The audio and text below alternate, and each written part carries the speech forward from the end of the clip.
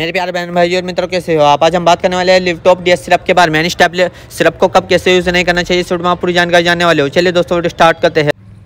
तो दोस्तों, अब हम इसके फ़ायदे के बारे में बात कर लेते हैं। दोस्तों, अगर आपका लीवर डैमेज हो गया है, यानी कि आपको लीवर ख़राब हो गया है तो आप उसमें भी इस सिरप को यूज़ कर सकते हो, या आपको अल्कोहल लीवर हो गया हो, यानी कि आप दारू पीते हो, दारू पीते पीते आपका या किसी का भी लीवर ख़राब हो गया हो तो आप उसमें भी इसे यूज़ करवा सकते हो, या हेपेटाइटिस आ गया हो, यानी कि लीवर पर सूजन आ गई हो तो आप उसमें भी इसे यूज़ कर सकते हो, या अन्य लीवर की कोई बीमारी हो तो आप उसमें भी इस सिरप को यूज़ कर सकते हो, या डाइजेशन में समस्या हो, जैसे कि खाना ना पचता हो, खाना खाते ही हिचके आना हो, डकार आती हो तो आप उसमें भी सिरप को यूज़ कर सकते हो। यह आपका जो खाते हो, आप वो नहीं पचता है तो आप उसमें भी इसको यूज़ कर सकते हो।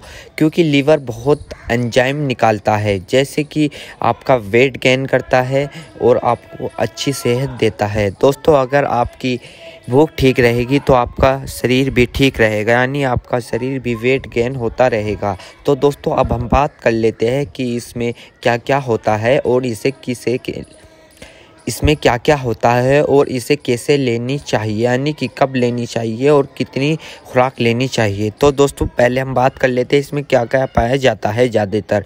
दोस्तों, अगर दोस्तों anti oxidative anti inflammatory immunomodulatory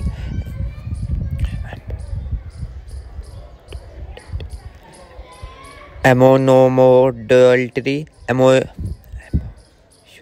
immunomodulatory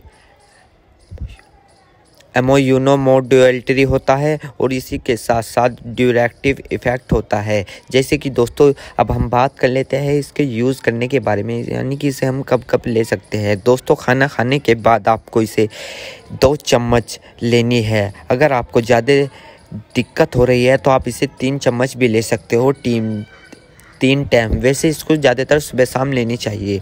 दोस्तों, मरीज़ की आशंका, मरीज़ की उम्र, मरीज़ की समस्या और मरीज़ किस स्थिति पर स्थान कर रहा है, उसके आधारित पर हमें इसे लेनी चाहिए। इसलिए अगर आप अपने डॉक्टर से पूछ कर लोगे तो ज़्यादा अच्छा रहेगा। तो दोस्तों, उम्मीद करता हूँ अब आप समझ गए होगे।